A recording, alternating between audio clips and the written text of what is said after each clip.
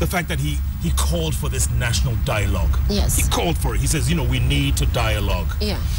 Why don't you call for national dialogue as well? You know, you're not in government anymore. Why don't you call for national dialogue? My attitude, I will respect and defend your right, even if I do not agree with you.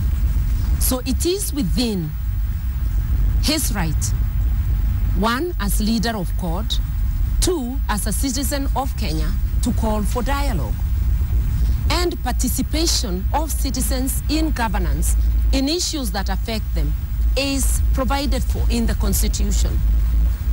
So when a leader or a citizen calls for dialogue, they are within the law. And it is its right to call for dialogue.